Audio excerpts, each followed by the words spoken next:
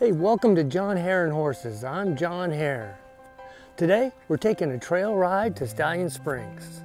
I drove 45 minutes east to Tehachapi, then another 30 minutes west to Stallion Springs. There's a great little parking area called Buckskin Park at the intersection of Horse Thief and Mustang Court.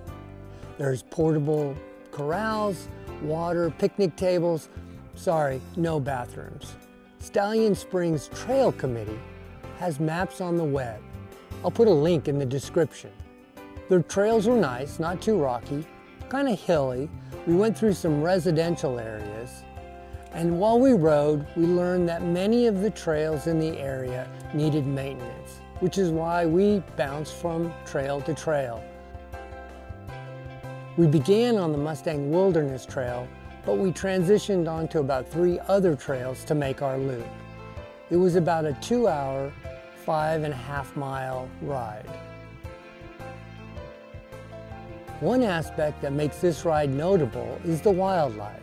We saw a couple of deer on the trail and a pair of elk wandered through the Buckskin Park as we were unsaddling. Some have reported that there's rattlesnakes in the area too, so be careful.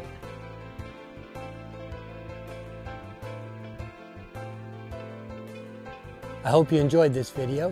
I hope you'll consider subscribing. And please hit the like button down below.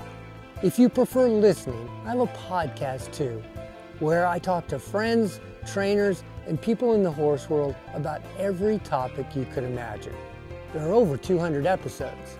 I've talked to Clinton Anderson, Martin Black, Warwick Schiller, Jonathan Fields. I've talked to people from Australia to Mongolia. You can find the Whoa podcast about horses and horsemanship anywhere you find podcasts. Thanks again for watching this video, and I hope to see you on the trail.